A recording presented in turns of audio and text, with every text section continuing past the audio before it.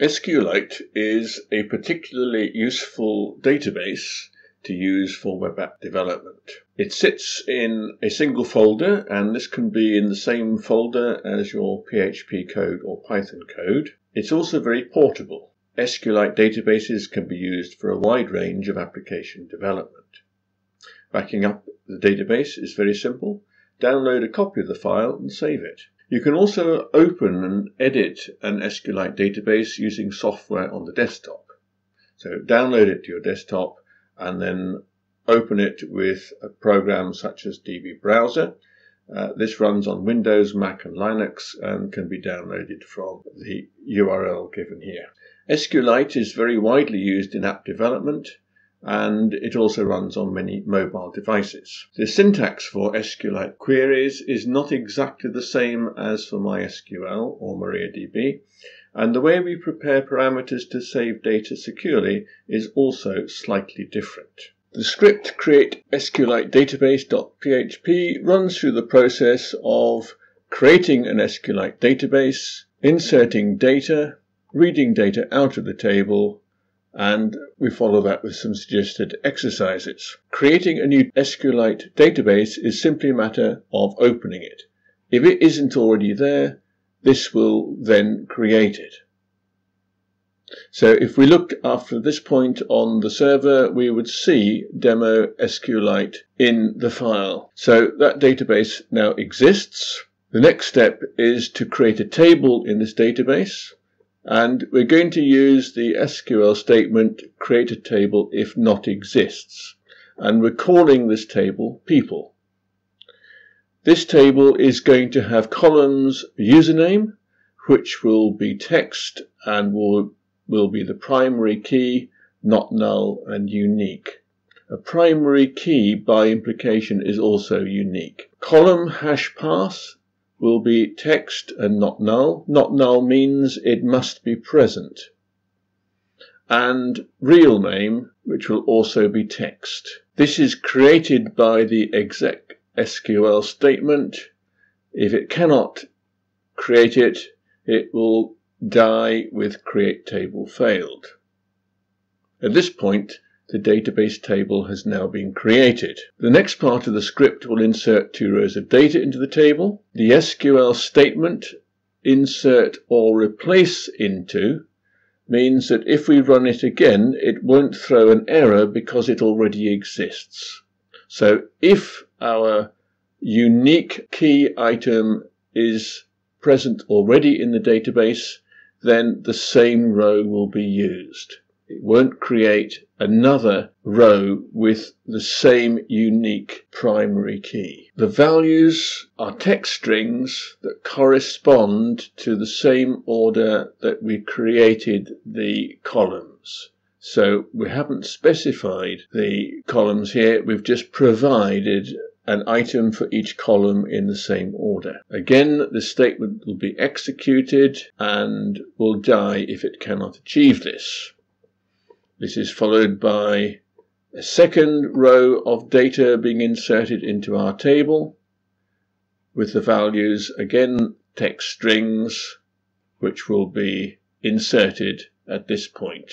This data has now been added to the table. Reading data out of the table, if I just scroll down, we're using the SQL statement to select the username, the hash pass, and the real name from people. The result is a database query using this SQL, again dying if it fails to work. We're going to use an associative array. Row is equal to the result, fetch array. And because it's associative, we can use the names of the column to identify the items that we want when we print it out. Now we're not using any inputs from the web here, so we're not using prepared parameters for our query, but we are going to follow the practice of using HTML special characters for all printout from the database, and we will start that here. So we're going to print out our username, real name, and the hash pass for each of the rows in our database. So this is going to iterate through each of the rows, producing a row for each row in the database, which we will then print to the screen. My demo SQLite file has appeared in the folder alongside the script that created it. I'm now going to right click on demo SQLite save link as, and save it onto my own computer. I can again open this by right clicking. I can open it with my database browser. So here is my new SQLite database opened in DB browser. As you can see, it gives the structure of the table, and if I click on Browse Data, it displays the content of each row and each column. So I can easily confirm that the data in the table is as I expect from the code that created it. Before we try making changes, we'll save a copy of our PHP script under another name. And this is the one that we will now modify to explore how we make changes to an SQLite database. First of all, let us change the name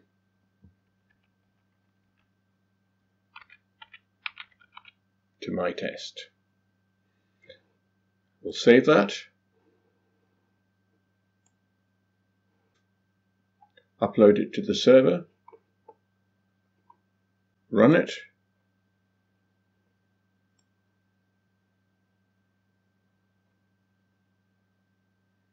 and that appears to have run correctly. We will refresh our view of the files on the server. There's our test file. We called it my test and it's there. We can check on the server by using our server utility.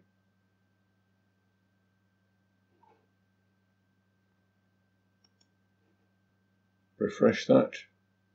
Here's our new SQLite database. And it confirms that we have created our database and stored the details. Rather than creating a whole series of databases, I'm going to go back to the files, delete my test,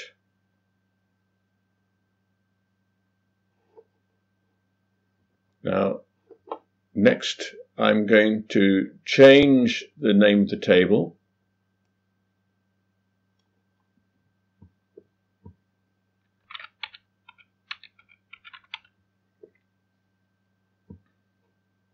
I can change the name of column headings. So identify a column heading.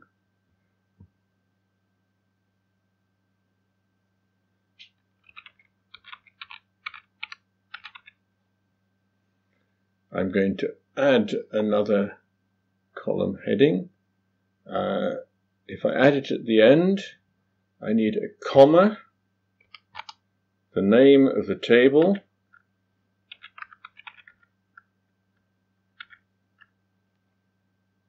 and the type. Again, I will simply use text. There's no comma following the last item in the list. Um, if I execute that, that will create that table. Now, if I now run that, it's inserting into people rather than our new table. So I know that I should expect an error if I run that at this stage. But just to confirm that, I will save that. I will upload that again to server.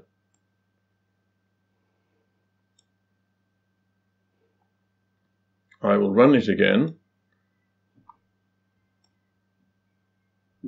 And as expected, I've got the error no such table. So I need to ensure that when I insert data or otherwise handle a table in the database, I'm using the same name as the one I've created. So I've created one called this is new. I need to match that in my insert or replace.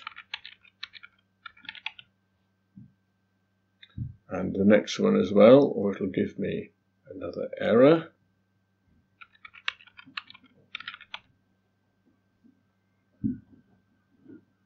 So I'll save that again, upload the file again, run the file again.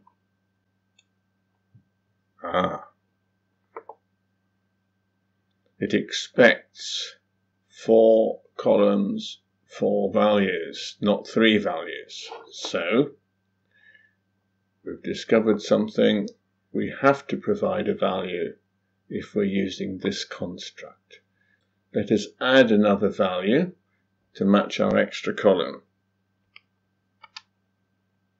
So we're adding a comma, the value,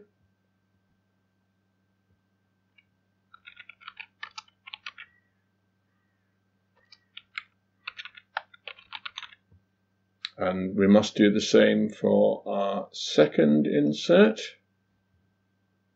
comma, add the new value.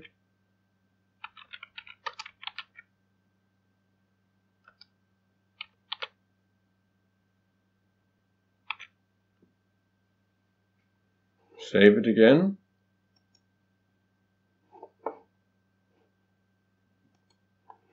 Upload it. Run it.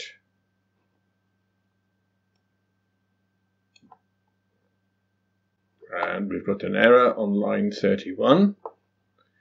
That is the point of execution. The error is actually in what we've just added. So if we look at the line before, what we've omitted is the closing comma there, inverted comma. Try again. Disable apple upload our revised script, run our revised script. Right. So data has been added to the table, reading data out of the table, and we've again got a warning, no such table, because we haven't edited later on. So that's as we would expect.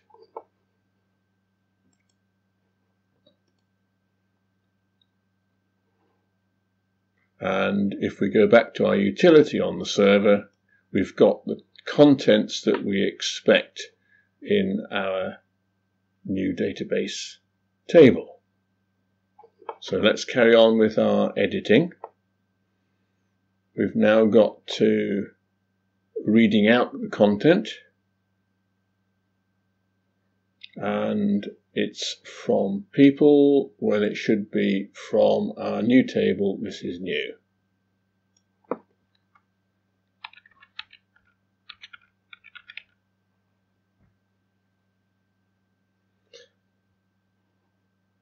And let's read our new column as well. So our new column is called extra. So again, added a comma, but there's no comma at the end. And we want to print this out, so we're echoing the value of our extra column. We want to include the HTML special characters. Um, so here is the bit we want to duplicate. So I'm going to copy that, paste it after the dot to concatenate that. So add that bit on. So dot print a colon dot print our variable and this should be extra.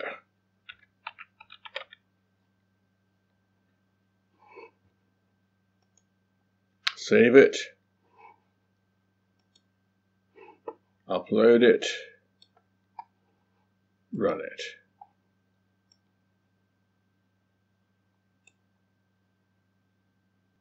No such column hash pass. What have we done wrong this time? If we look at our columns and remember what we did, we actually changed the name of that to telephone. So we're asking it to print a column that no longer exists. Here's the column telephone. So we need to make sure that our columns match. So this one needs to be edited to be telephone or it doesn't match the columns in our table.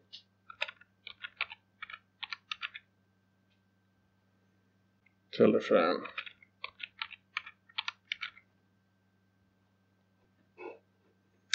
Save it. Upload it. Run it.